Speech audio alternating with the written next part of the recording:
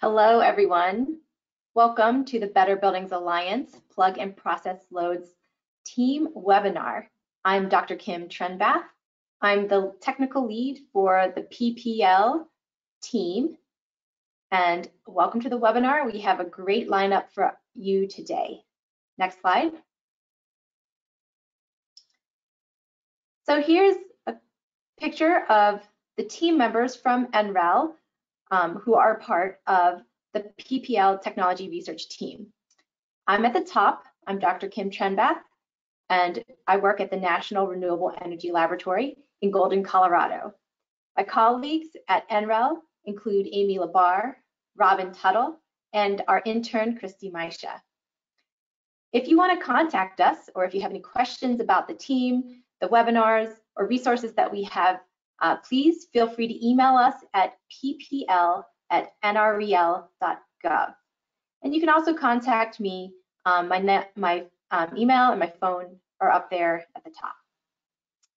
Next. All right, well, we have a great um, presentation for everyone today. We're going to be featuring the Houston Advanced Research Center, and they're going to be talking about uh, getting to net zero energy through strategic building operations and plug load management. Before we go into their presentation, I'm going to give an update on the BBA PPL team. Um, and after their presentation, we'll have some time for question and answers. And at the end, if we have some time and some volunteers, we'll have some member updates. So I'll talk about a few um, logistical items right now. At any time during the presentation, if you want to type in a question, feel free to do that in the question section on your GoToMeeting panel. These questions can be directed um, for the presenters today from HARC, or if they're directed to me, I will answer those during the Q&A session. So please, please, please enter your questions. We're looking forward to a good discussion. Um, we'll be compiling those and answering them, um, answering as many of them as we can. During the member update section, if you would like to provide an update, please raise your hand. I will see that your hand is raised. I will call on you and we will request that you unmute your line to provide your update. Um, you can also put in to the questions that you would like to provide an update if you don't want to wait until the end. And I will call on the mem I'll call on you for your member update. All right, next slide. Okay, the first thing on the agenda is our PPL team update. Next slide. Well, we've been busy over the past year on many resources that will be helpful to building owners, especially with um, strategies and technologies that will help you control your plug loads. As you all know, plug and process loads make up 47% of whole building energy use in commercial buildings, and that's a lot. And so in order to get to zero carbon by 2050, it is very important that we control our plug loads and process loads. When we talk about plug loads, we're talking about plug-in um, plug-in and hardwired devices that are not part of any other building end use, such as lighting, um, HVAC, um, or refrigeration. And when we're talking about process loads, we're talking about process um, loads that do processes in a building, such as um, cooking and vertical transportation. So we have lots of resources available to you on our website. Um, the website is seen in green at the top. Um, the resources include guides for assessing and reducing plug loads. I'll talk about those later. We also have fact sheets. Um, an example of a fact sheet would be information on how to disaggregate your plug loads in your building. So disaggregating them down to what types of plug loads are in your building, such as how much of your load is um, attributed to computers um, or um, microwaves or the refrigerators. That fact sheet is available in our resources. Brand new, we have utility incentives. We also have recorded webinars um, that you can watch on demand. And then we also have case studies. Case studies feature buildings who've um, implemented plug load strategies in the past, and they talk about their successes and their best practices. Next slide.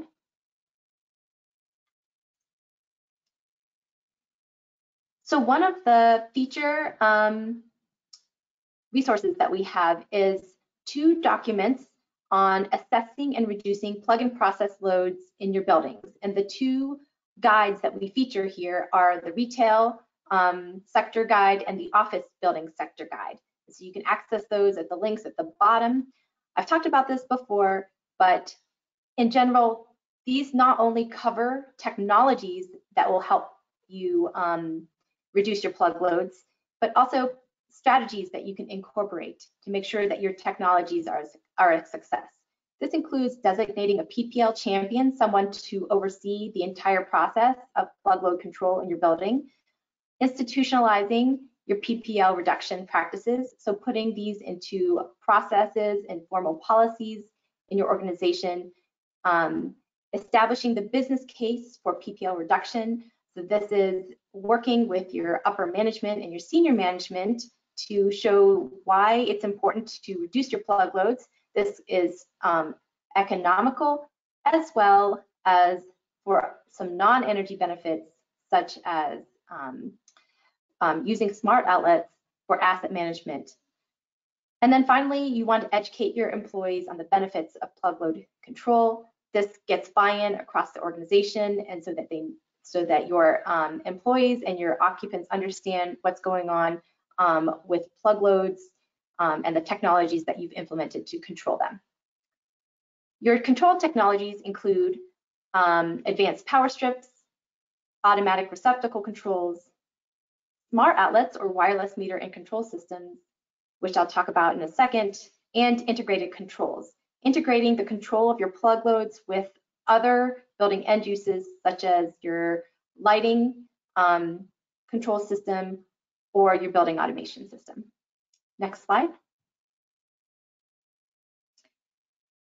So I referred to this earlier, but this is our smart outlet fact sheet that's available on our website. So smart outlets are wireless meter and control systems, and they meter the plug load as well as turn off and on the power that goes to the plug that's plugged into them.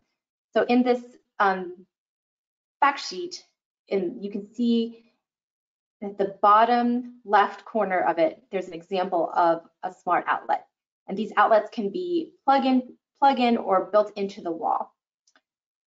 This smart outlet fact sheet tells you what smart outlets are, how to procure them, and some best practices for using them. And you can access this again on our website. Next slide. This is an example of a fact sheet that we have. We wrote an ACEEE Summer Study Conference Proceeding paper um, on emerging technologies for improved plug load management systems. And we have a one-page fact sheet that highlights the two emerging, emerging technologies. One is learning behavior algorithms, using learning behavior algorithms, machine learning and learning behavior, behavior algorithms um, to automatically determine per, an occupant's behavior and adjust the plug load schedule accordingly. And then the other one is automatic and dynamic load detection. This is a plug and play system for smart outlets. So this smart, this is again found on our website. Next. We have a utility incentive list that we keep updating um, over the years. Um, man, this is like our ninth year of updating it. And in this utility incentive list, um, we have about 500 utility incentives that are um, related to plug-in process loads. Uh, they come from 144 utilities. This is an Excel spreadsheet that you can download from our website, and you can filter this by your state, your incentive sponsor, or the type of incentive that you're looking for. So check it out today. Next. And you can access all of our webinars on demand from the BBA um, website. You can go to the link from our website that says watch now. It's on the front page of our website. You can access this a couple days after we'll um, after after today, and you can access the most recent one that we we um, did in March of 2021 on beyond energy efficiency, how your device usage patterns affect energy consumption. Next. Okay, so that's all the updates that I have. Um, If you have any questions, feel free to reach out to us at ppl at nrel.gov. Next. So I'm pleased to introduce our guest present presenters for today. They are from the Houston Advanced Research Center. We have three presenters and I will read their bios and then after that turn it over to them. So our first presenter is Dr. Mustafa Beydoun. He is the Vice President and Chief Operating Officer of the Houston Advanced Research Center, or HARC. He is responsible for directing, administering, and coordinating the operations of HARC including its LEED Platinum Zero Energy headquarter building in support of the organization's strategic and administrative goals. Dr. Beydoun's research interests are in the areas of air quality, vehicle emissions and electrification, and industrial development. Dr. Gavin Dillingham is the Director for Clean Energy Policy and the Director of the U.S. Department of Energy's South Central and Upper West Combined Heat and Power Technical Assistance Partnership. Dr. Dillingham leads multi-stakeholder efforts focusing on policy programs to improve the climate resilience of power infrastructure and built environment and to help usher in the energy transition via a variety of clean energy and energy efficiency initiatives. Dr. Carlos Gamarra is a senior research scientist with HARC and the energy manager of the HARC's headquarters building. His research is focused on community energy systems, decarbonization, and strategies to model and mitigate climate risk associated with the energy infrastructure and the built environment. Before I turn it over to the team from HARC, I want to remind you if you have any questions, please again type them into the question box and we will answer them during the question and answer section. Take it away. Well, th th thank you, Kim. Appreciate it. I'll, I'll, get the presentation started by giving you an overview what we'll be talking about and then hand it over to Carlos and Gavin. Uh, next slide, please. So, so I'll discuss uh, HARC as an organization, our building, also look at uh, some of our energy management uh, uh, ideas at HARC and what we're doing. Carlos will take a look at some of the load, load management issues along with Gavin, along with what we experienced before COVID and after COVID, and, and then hopefully have plenty of time for some of your questions and answers. Next slide, please. Next slide, please. So HARC's a sustainability research organization. We're a uh, applied uh, non-advocacy uh, organization, and most of our research focuses on air quality, energy, uh, water resources, and climate risk. And as you can imagine, a lot of that is based on a strong geospatial and analytics foundation. So we, we work with everybody from our, our, our, funders, which include the federal government, state and local entities, and uh, foundations, and, and, even some some corporate interests to to our nonprofit partners, and certainly our academic partners and and, and partners in in consulting as well. Uh, next slide, please. Our, uh, our, our, LEED Platinum building is, is, what we'll be talking to you about uh, today. Uh, it was uh, constructed and, and, we moved in in March of 2017. It's about 20,000 square feet. Uh, it was certified LEED Platinum in September of 2017, and we were certified as zero energy by the International Living Futures Institute uh, just last March. It, it's, it's a very unique building in that we, we have not just 252 solar panels on the roof, which produce about 90 kilowatts of power, but we also have uh, uh, 36 geothermal wells under the parking lot, which are responsible for the heat exchange for our uh, HVAC system. And we have an extremely tight building envelope, which has an effective R value of 50.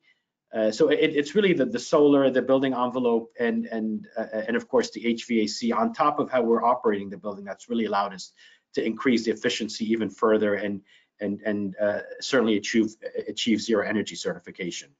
Uh, we're at Energy Star 99 right now, which means we're one of the 10 most efficient buildings in the state of Texas.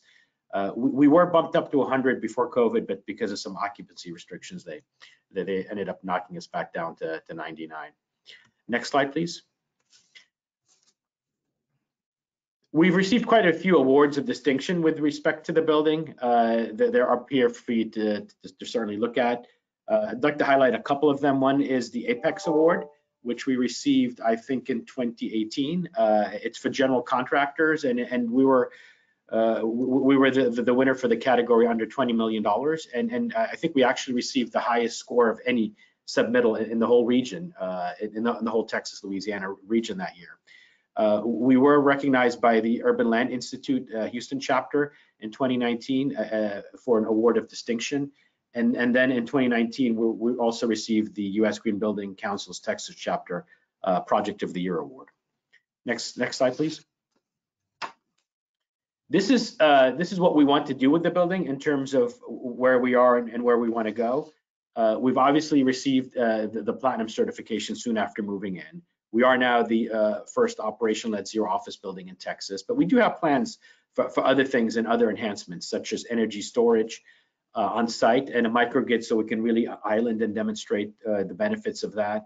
Uh, and we do uh, want to look at transform, transforming a smart building into an intelligent building through additional sensors and, and, monitors that, that allow us to optimize the building in real time on the fly, so to speak, rather than after the fact, after we've analyzed the data.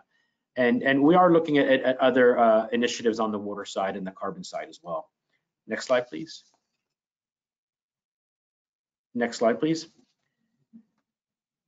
this is our building dashboard uh, that, that's accessible in the building uh, that, essentially shows you real-time data from our uh, solar array, uh, both hourly and real-time, but over the, the, previous week.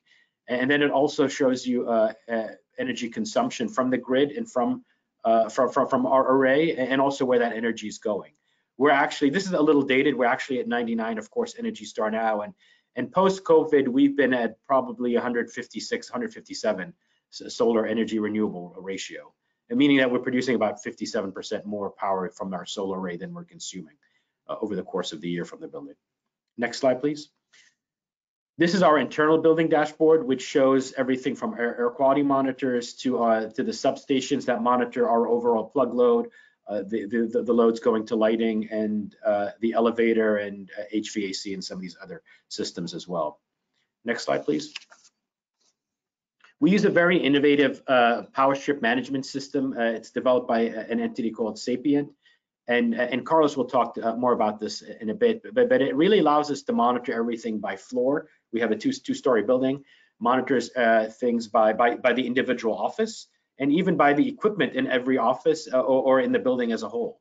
So, so, so we have numbers on what the monitors are using in real time in the buildings, uh, in the building as we speak, what the desktop computers are using, what, what, what the auxiliary lamps in every office are consuming as well. And the beauty of the system is it, it not only gives us data, it also allows us to turn individual plugs on and off. So for example, if we know that uh, uh, you know plugs one and two in this office are, are, are dedicated to monitors, we can turn those plugs off you know on a Friday morning at two o'clock in the morning because nobody's going to be using that office at that time, for example. Uh, next slide, please. So once again, I did discuss some of these issues, but, uh, but, but, just to highlight some of the numbers, over the last 12 months, we've generated about 105,000 kilowatt hours uh, off of our solar array. Uh, energy consumption has been improved. We moved into a building that was already LEED Platinum very efficient, but we've been able to squeeze an extra 20% from that building because of the great work Carlos and team have done and, and, and, and you know, and, and, our workers and our employees and staff as well supporting those efforts and, and kind of buying into what we want to do with the building. We are at Energy Star 99, and once again, we, we, we are uh, certified as, as net zero uh, energy by ILFI. Uh, next slide, please. And you know, I, I, I, like to tell people we haven't paid a bill at HARC, a, a utility bill at HARC uh, in, in two years, and it's not because we don't pay our bills. We do. It's, it's simply because we haven't been billed by the utility. Uh, this is a running average of uh, our, our, electric bills over the first uh, over the previous 12 months, uh, and and and the, and you can see uh, when we first moved into the building, our electric bill was just over ten thousand five hundred dollars. In 2018, it was nine thousand four hundred dollars. In 2019, and and our solar array expanded from 36 panels to 252 panels in December of 2018. So that's why you have the marked drop in 2019 was $101. And then in 2020, we, we actually got, got back $913 from our utility. And over the last 12 months, it's been over $1,000.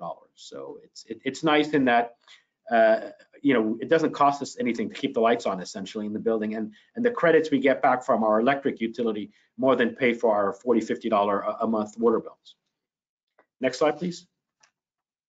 Carlos. Uh, It's all yours. Thank you very much, Mustafa. Uh, so we are going to be talking now about the process we we are continuously running on how to on the plug load optimization. So next slide, please. But we would like to start giving a quick overview of the energy consumption in the building. As Mustafa uh, highlighted before, we first occupied the building in 2017. So uh, as we can see in this slide, we've been through different stages energy-wise. Uh, the we we can see the pre-optimization energy consumption, which was uh, slightly over 20 kBTUs per square foot. Then, uh, as I will mention later, we started an energy audit in the second half of 2018. That led us to this optimization process that finished around uh, November 2019, where we can see the our energy consumption is again stabilized. But then, uh, you know, everybody knows what happened at the beginning of 2020, and when COVID uh, arrived to the US, we just uh, tried to take advantage of the situation to keep up improving the energy performance of our building. And at this point, we are starting to see our energy consumption at the building level going up again as more more people, more staff members are moving into the building, working from the building. So I just wanted to highlight these four situations to put us in context of how how how have we been operating the building during these last four years. Next slide, please. The first step we we in in this optimization process was to uh, to develop a building energy audit for the whole building during the second half of 2018. Mainly, this building was covering uh, three uses, three energy uses, HVAC, lighting, and plug loads. So we basically studied the individual consumption of plug loads with some portable meters and the plug load submeter.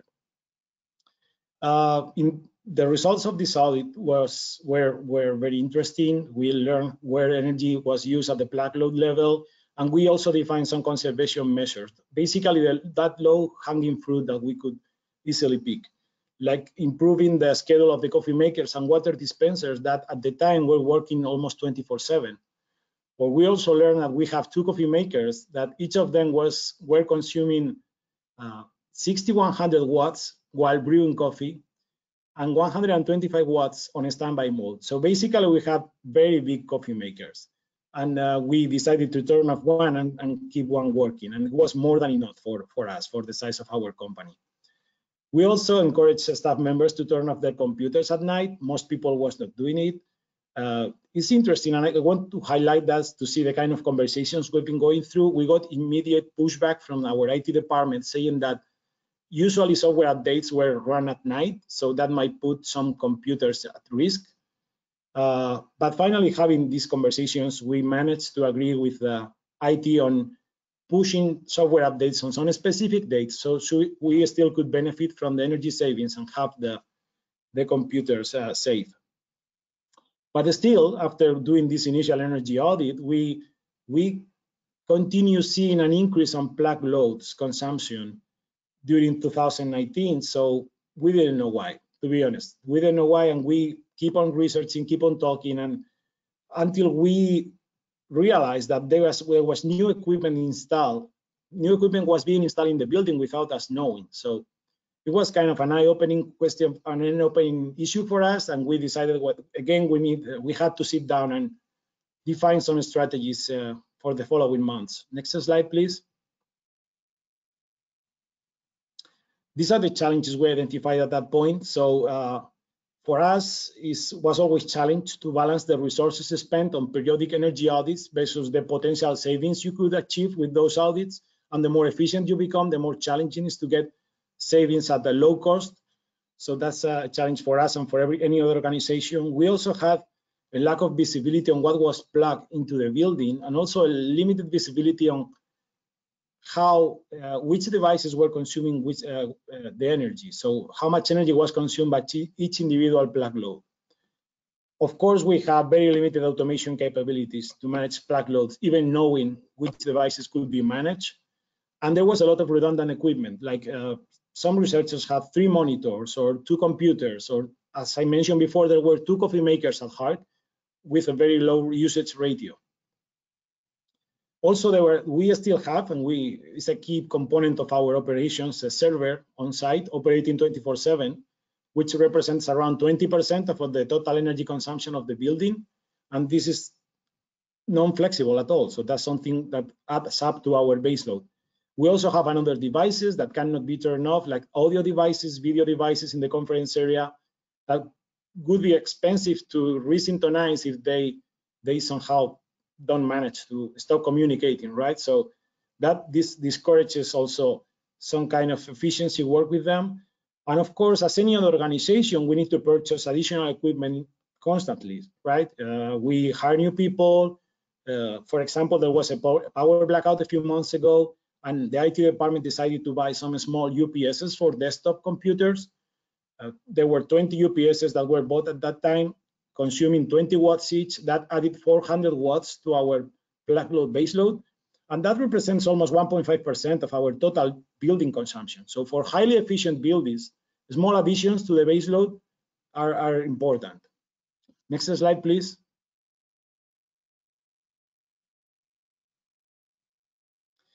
So in this chart, we can see how plug loads have been increasingly important for us. They represented 18.5% in 2018 of the total energy consumption. Uh, they represented 35.76% in 2019, while in the 12 months prior to COVID, our plug loads were responsible of 39% of the total building demand. Next slide, please. And the reason for that is not only that uh, the energy uh, energy consumption on plug loads was increasing, but also that we managed to decrease the energy consumption of other energy usages like HVAC or lighting. And I think that's a very particular characteristic of plug loads that is challenging to keep them under control because you always need more, right? You always need additional devices, you hire new people. So it's not like HVAC or lighting. It's, it's, they are way more challenging and we identify that and we recognize that recognize that very early in the process. Next slide, please. So after we completed this first building uh, energy audit, where we learned a lot, a lot about the plug loads. We defined uh, different energy efficiency strategies for HARC. We put them together, we sit that, sat down, discussed them, and uh, in April 2019, we decided to make a, to celebrate a meeting with all our staff members to present and discuss this, the goals we had for the building, the strategies we were going to deploy, and the reason for that. So we we wanted to our staff members to understand that we were going to be looking into things that we haven't been looking be into before, like uh, energy consumption at the office level, things like that. Uh, just because there is there because there are some goals we want the building to achieve that are strategic for HARC. Uh, we want to showcase uh, that some technologies can help any commercial building improve their energy consumption. We are a living lab. We like to test things inside our building, and and we also have uh, thousands of visitors. Have thousands of visitors since we since we opened the building. So that's who we are. We are a research company, and many people understood it. Most everybody, almost everybody understood it. There is always some people more reluctant to the strategies when it comes to automating automating things inside their offices. But in the end, it was a very productive meeting. Next slide, please. After that meeting, we went on deploying strategies, like for example, uh, in June 2019, we selected and installed a platform monitoring platform. This, the platform we selected was Sapient's uh, Industries platform. Uh, the process to deploy it was pretty simple. It was self-deployed by our employees. We basically gave them a smart power strip so they could install it in, the, in their office and give us their power strip. We also gave them a form for them to let us know which devices were plugged in each, in each socket of that power strip and we also configured the power, the monitoring platform, uh, just connecting the power, uh, power strips in each office, just letting know the platform which power strip was connected in each, in each office. So the, the power strip could aggregate those consumptions. Uh, this was two years ago. Sapient at that point was a startup. Now they have improved the platform quite a bit. And most of these features are automatic. Like for example, now as you plug what a device on their smart power strips, the platform automatically recognizes the kind of device uh, there are, the, the, kind of device it is. They also have improved their interface a lot and provide you many different information sources. So there is a quite interesting platform to use. Next slide. So once the Sapient platform was installed, uh, we decided to install, of course, properly commissioned. We decided to do a follow-up local audit with the using that platform and some uh, and the uh, some portable meters we already had from the previous energy audit to discover that only 6% of our plug loads were, so to speak, flexible, could be somehow modulated because out of the 35% of the plug load uh, of the energy consumed in the building, so 35% of the energy consumed in the building comes from plug loads, 19% of that 35% go to the server and the server room, and 10% go to the kitchens and other appliances. So we have a high base load. That was one of the conclusions of uh, of uh, that energy audit. And in 2019, December 2019, we also run a partial reconfiguration process because we also identified many loads that were pretty constant. So for example, the electric panel of the HVAC system is always consuming 200 watts. No matter what you do with the HVAC, it's just the control system. So why should we put a meter to that, right? There is no, doesn't make sense. So we somehow relocated the power strips and the smart meters uh, to cover 100% of our, our variable loads. Next slide, please. Uh, now we're going to discuss a little bit what happened during COVID. As you know, on March 15, 2020, uh, our staff members are encouraged to work from home and the building is closed. Uh, we all work remotely. And with this new way of operating the building, some new challenges arise. Like for example, we are able to turn off additional equipment in the offices that won't be used the following months. Also some appliances in the kitchen areas.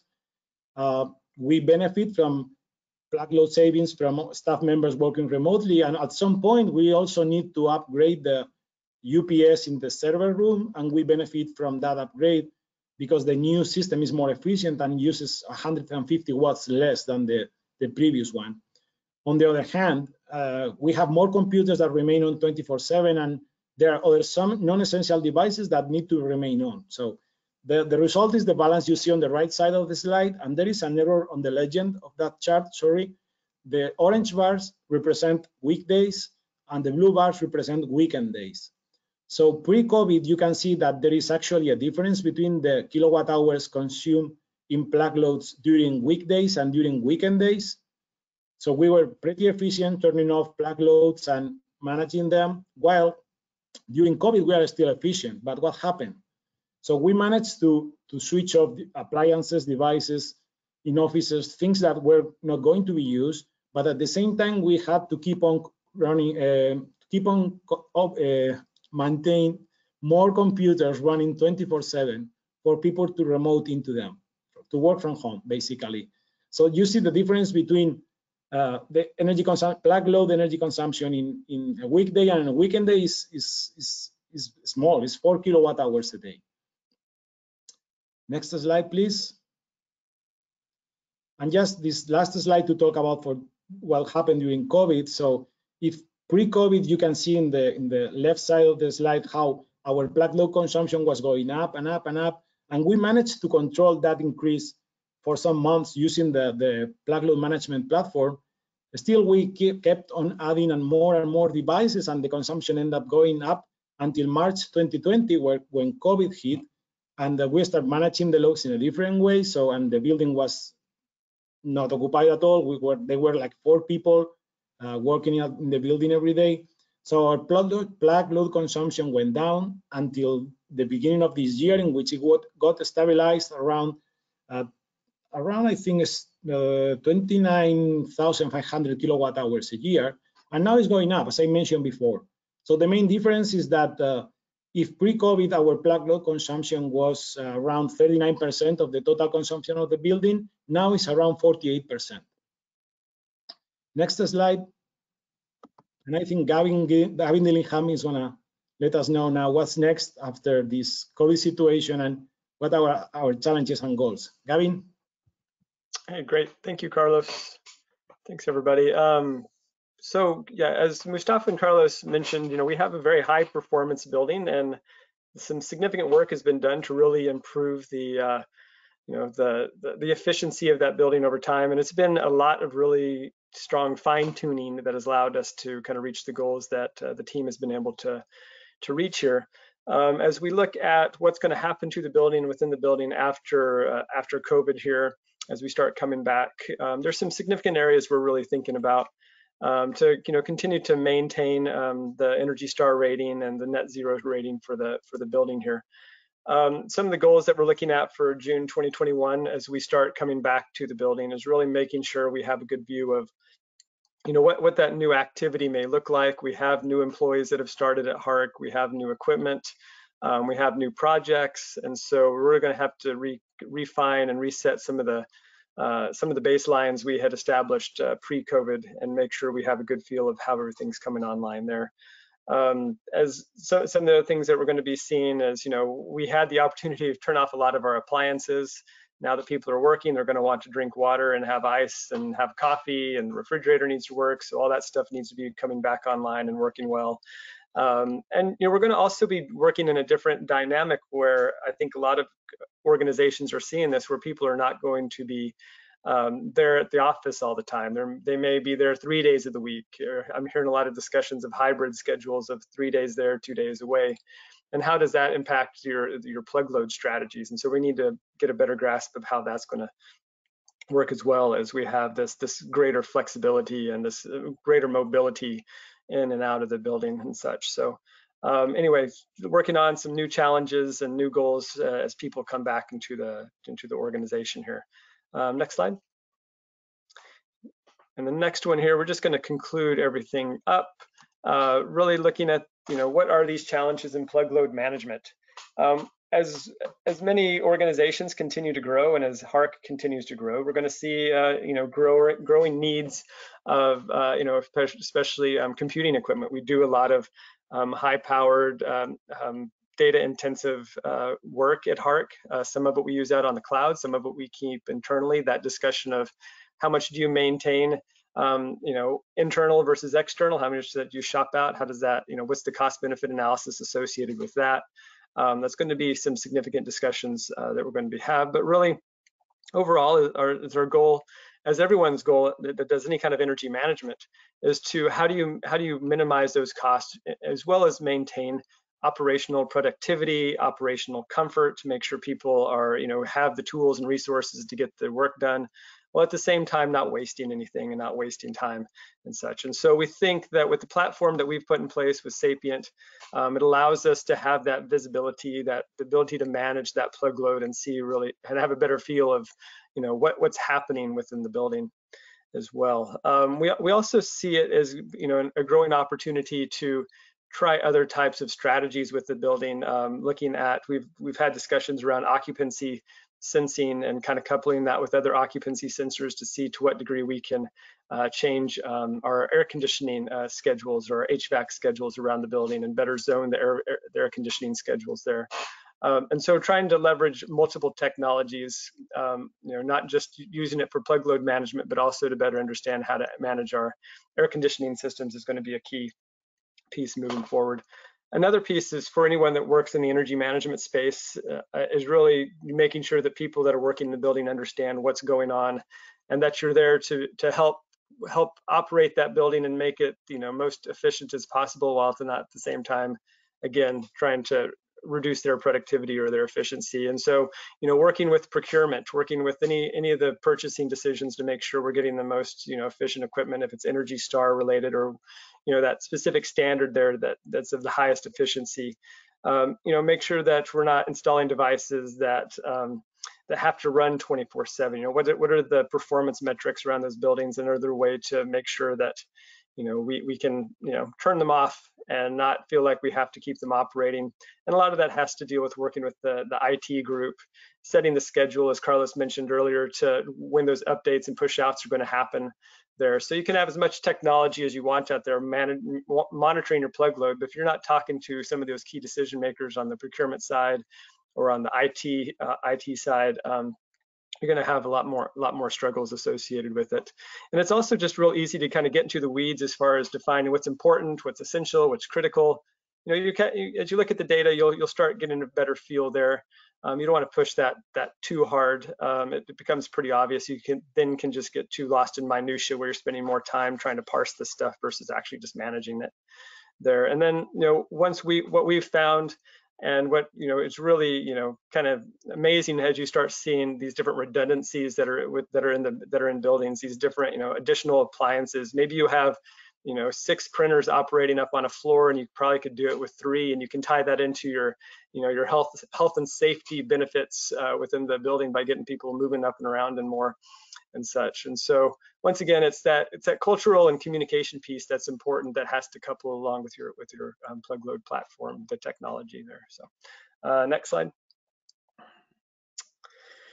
all right, so just some three quick bullet points here to, to point out. Um, once again, plug load management platforms, they're great for energy efficiency tools. Um, they really allow, you know, to get that better visibility, especially as plug load continues to grow um, as, a, as a major consuming resource within the buildings. But once again, I wanna emphasize that um, you know really you have the plug load platform but you also need the communications and you need the processes in place to ensure you're bringing in the most efficient equipment and you're and you're dealing with the redundant equipment as well um, you know there's there's a trade-off when you're looking at these plug load platforms as far as you know how, what's the value of the data what's the cost of the platform that cost benefit analysis is going to be key you can put in some of the sexiest plug load systems out there, but is it real? Are you really getting the bang for the buck that you need? And so you need to take a hard look uh, to make sure that um, you know what you're installing in the in the building really you know meets those meets those primary needs, but it's just not you know kind of overbuying what what you need uh, for this particular case. And you know one of the other key pieces here is really making sure that uh, when you're working with the folks that are in the office with you, when you're working with other employees, you know, you need to have that that buy-in with them. You need to explain what, what's going on and wh why you're trying to reach these goals, and that you're not working at loggerheads together. That rather you're trying to figure out ways in which to complement each other's work.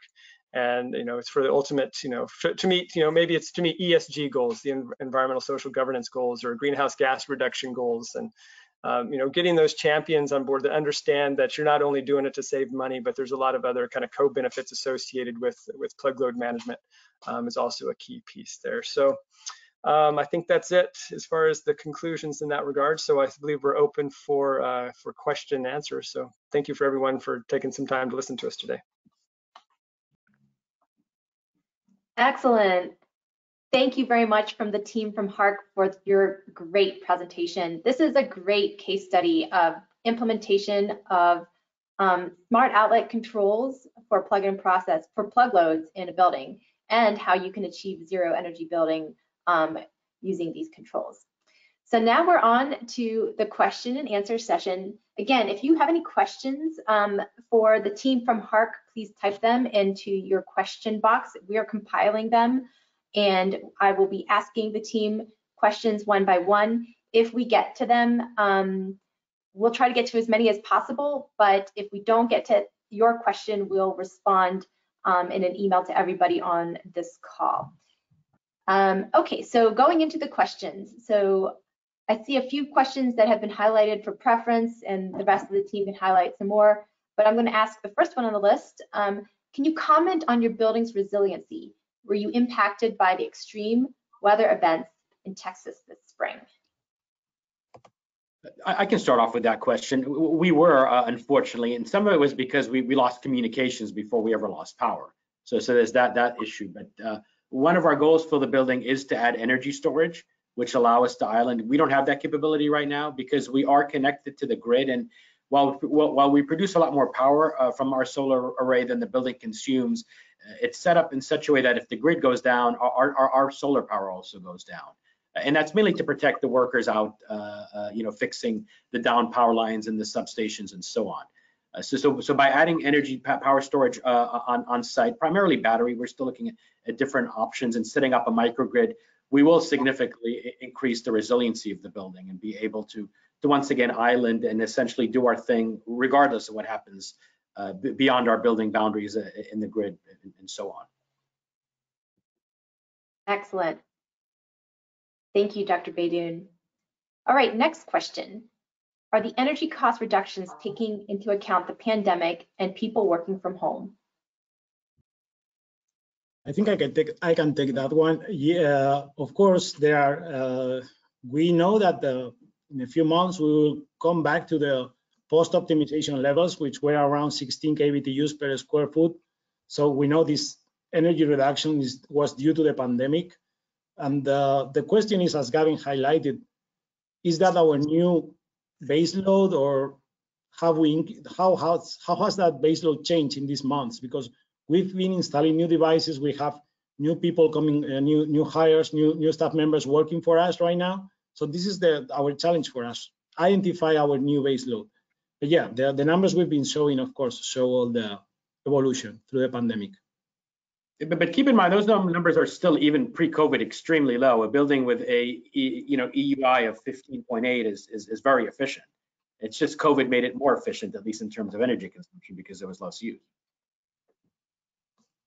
Excellent. Thanks, Dr. Gamara and Dr. Beydoun. All right, next question. What are some best practices that you have for working with IT? Well, I mean, I'll start, and then I, because I, I, know that's been a ongoing discussion between Carlos and me, and some of it is just a conversation and discussion, and some of it was uh, simple stuff as, you know, why does the server room need to be set at 62 degrees when the equipment is rated to operate in 80, 90 degree uh, temperatures? And and it was it was slowly a gradual process of of turning up the thermostat a degree or two every month, and and now I think our set point's 72 or 73, uh, which has saved a significant amount, uh, power, of course, because once again, the equipment can still operate efficient, sufficiently. It's to talk to them about energy efficiency. Uh, it's talk to talk to them about about looking at the equipment we have and we buy in the future. So, for example, right now everybody in the office has two monitors, but moving forward, when somebody uh, orders new equipment or we have a new employee come to HARC, we'll order them one 27 or 32 inch monitor rather than two, you know, 20 inch monitors uh, which which it makes life easy for for us from an inventory perspective and equipment perspective, saves us money, but also ends up with a more efficient piece of equipment that does the same work of, of two individual monitors. Uh, we, we were also reutilizing uh, all monitors, kind of uh, having a, an old monitor as a third monitor, and that's another policy we would like to modify. So not to keep on using and adding monitors to our tables, but being efficient in that regard, as Mustafa mentioned. And, and, and, one other thing we are talking to them about, and Carlos highlighted this with respect to resiliency as well, is, is, is made, moving some of our data storage and, and software uh, offsite so, so that first they can be accessed more easily remotely by the staff working offsite without having to VPN in. But that would also save us power at the building itself because once again, it, it's a server or two or three that isn't uh, operating within the building, but, but rather remotely. Now, now there is a financial cost to that, so we're so we're balancing the, the financial cost with the resilience and and, and and and power benefits as well. Excellent, thank you. All right, our next question is: Are you aware of the use of energy performance contracts to pay for plug load optimization? Yeah, so um, I've, I've worked in the energy performance contracting space for a, for a while now, and from what we have seen, um, they have been considered more and more, especially as they've gotten um, more advanced and kind of more integrated into the building operations. Uh, typically, they've been seen more as uh, kind of a, a, behavioral cost, not not or a behavioral benefit, a behavioral change type benefit versus um, necessarily throwing them in there as say like similar savings as what you'd see from an HVAC system or a lighting system or even a, a building automation system and such. But they are becoming more uh, more part of kind of that overall um, like if you're doing an energy performance contract, that, that overall uh, program there, and is seen as providing some deemed savings um, to the uh, to the project there. So yes. Excellent. Thanks, Dr. Dillingham. All right, next question. What, if any, occupant education did you facilitate to help occupants learn about the system? Was there any occupant pushback? I mean, and Carlos alluded to this. We did the research. I mean, and we're a sustainability research organization, so uh, we, you know, we have a bias to, to inherently wanting to, to do the right thing in terms of our employees but but but but but it it wasn't necessarily a difficult challenge, but it did take education, and some of it started out by sharing the numbers and, and, and our end goals with the with the employees. A lot of it was, uh, and I think we did a couple of those sessions. Some of it was follow-up emails. Some of it was one-on-one discussion. Uh, some of it was was also soliciting their input in terms of uh, opportunities for energy improvement that they uh, could kind of uh, identified themselves. Uh, so, so it was kind of an iterative process with with with presentations, with with sharing numbers, with with aligning kind of why we were doing this and that with respect to our, our building end goals and and and ultimate kind of uh, desires with respect to net zero and uh, and, and uh, you, you, know Energy Star and, and maintaining our, our, our LEED Platinum certification. And, and a lot a lot of that work was was was really led by Carlos and team. Yeah, I would I would say one of the other things that I just found interesting um, was Carlos brought up the coffee makers, which you know yeah. people don't think about. It's a huge thing, but it was it became pretty significant discussion point at HARC. And um, so we had you know it's a two-story building, 20,000 square feet or so, uh, coffee maker up on top, on on bottom. And um, we were like, well, we'll just turn up the one on top. We'll turn off the one on top on the second floor, let people go down to the first floor and get coffee that almost caused a riot because why, why do I have to go downstairs to the first floor? So the compromise that was made, well, we'll get these vacuum pots and the vacuum pots would bring the coffee from the first floor up to the second floor. So you had the, the so you had a, you know, the, one of those vacuum pots upstairs and then the coffee downstairs too. And I think that was a nice, that was a nice compromise because you know people are like, well, that, that, takes a lot more time to get downstairs, or I just don't have, you know, I don't have that, I don't want to go downstairs, I want to stay upstairs. But in any case, it was a nice, it's a way to kind of work that that compromise. So we knew we needed to get rid of one of those coffee makers because they were redundant and used a huge amount of energy. So what's that? What's that compromise in this discussion? And you know, working with the team was like, all right, vacuum pots, and that seemed to be what the solution was there. So. Yeah, and even with the power strips, when when we did set times for certain equipment to turn on and off in offices, uh, there, there's an override button. So, so, so if you're working in your office at you know at 7:30 in the evening and the and the monitors go off at six, you you all you have to do is press a button and everything comes back online. So we did kind of give the employees the flexibility to override some of these underlying uh, controls if they needed to use that equipment. And that gave them like an hour. Is that correct? It was a it was a defined moment once again. I can't remember the, the number on that. But. Yeah. Excellent, thank you. Okay, next question. What issues did you have with the self-installation of the smart outlet technology? We didn't have any real issues, actually. It was, as I mentioned before, it was self-deployed. We gave each, each employee a smart power strip to replace the existing power strip. Once they plug it, uh, okay, I, I, did the work to pre-configure, no, sorry, they, they came pre-configured with our Wi-Fi user and password from the manufacturer. So it was just plug and play, so to speak. The only thing we had to do is to let the platform know which uh, power strip was installed in each office. And also ask people to let us know what were they connecting in each individual uh, socket.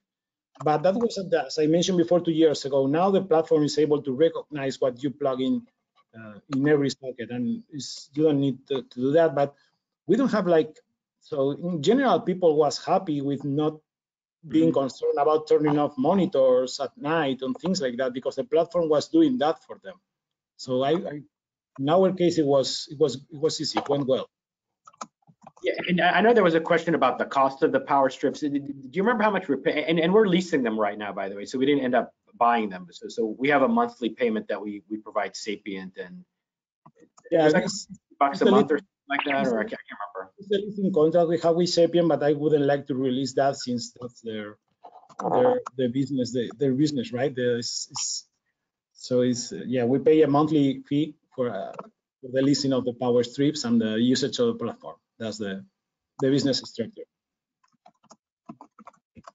Excellent. Um, another question I think we know the answer, but I want to ask it um, anyway. What dashboard, what dashboard software platform are you using? Uh, that, those our internal dashboards were developed by by our own staff members. Uh, we use Grafana with some data collected internally, and basically that's how we we set up the internal dashboards. Excellent, thanks. Do we use Raspberry Pi on this? Is that what the yeah, so we are collecting some data with some Raspberry Pis from different meters. Yeah. Yeah, and we did run a, a, across some issues with with collecting data from some of our sub meters, which I know we is, is a common issue with talking to other building owners. Uh, they weren't configured to be able to connect with our building automation system because the builder ended up ordering the wrong whatever uh, BACnet, this or that, and, and what have you. And, and then they wanted like $5,000 to, to, to, to, allow us to get that software to be able to connect to the system that they installed. So we ended up finding a workaround and doing it ourselves, quite honestly. But, but it was really our our researchers that developed both the uh, uh, the public dashboard, which which we showed you a picture of, but also the internal more more detailed dashboard. Excellent, thank you.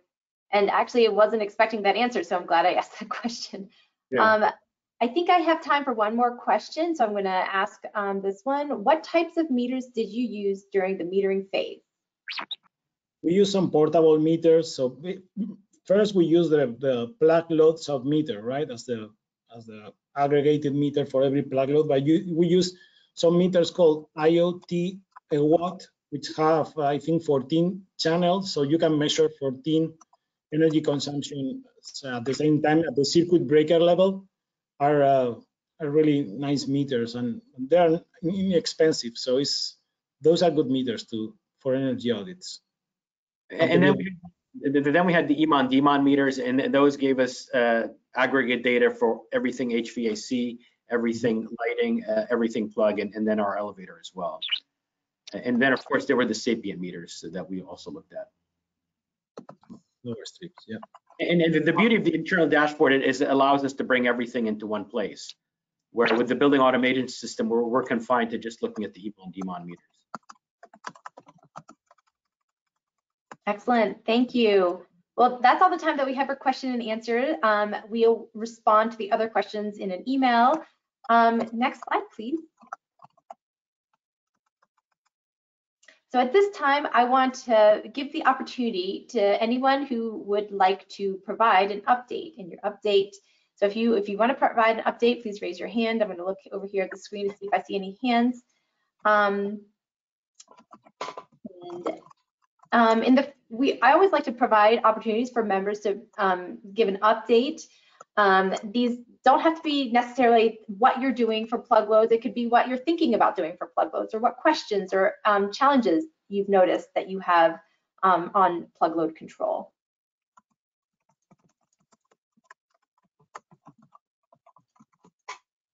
I don't see any hands. Um,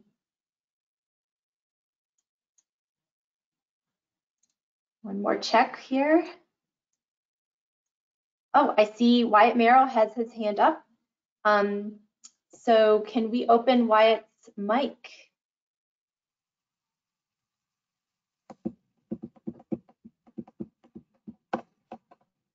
Hey, can you hear me?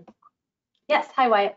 Hi, I probably sound like a broken record with this group, but I just wanted to say uh, once again that we are continuing work on a multi-year uh, strategy around uh, miscellaneous electric loads, in particular from an R&D perspective. Uh, uh, for those of you who don't know me, I'm with the Building Technologies Office in the Emerging Technologies Program, and this is part of a new portfolio that we have there. So if there's anyone on the call that wants to chat more about that, please feel free to reach out to me and we can set up some time to talk about uh, what you would like to see in an R&D portfolio for miscellaneous electric loads, uh, which of course includes many, many plug loads. Thank you, Wyatt. And can you remind everyone of your email um, and what your portfolio is called? Yes, um, we actually are in the process of setting up a web page, so you won't find too much information online. Um, it, it's a it's a new portfolio, which is part of the reason I'm soliciting some uh, stakeholder engagement here. We, we really need to uh, be in touch with as many people as we can. Uh, my email is my first name dot my last name, which is Wyatt W Y A T T dot Merrill M E R R I L L at ee.doe.gov. Um, you should be able to find, if you Google my name, you should be able to find my email that way through the BTO website. The portfolio is, is called BEADS, or Building uh, Electric Appliances, Devices, and Systems. So this is the MELS uh, component is a big component of that portfolio. Thank you for the time. Yes, thank you very much. Okay, next slide. And we're wrapping up here. Um, um, Dr. Wyatt Merrill, I'd love to hear from you, as would we. So if you have any um, thoughts on your um, successes for PPL strategies or challenges, please email us at ppl at nrel.gov. Visit our website. Um, it's down there on the on the last green line. And with that, it's the top of the hour. Next slide. I want to thank all of you for joining, and I'll see you at our next um, BBA PPL Technology Team webinar. Thank you all and have a great week.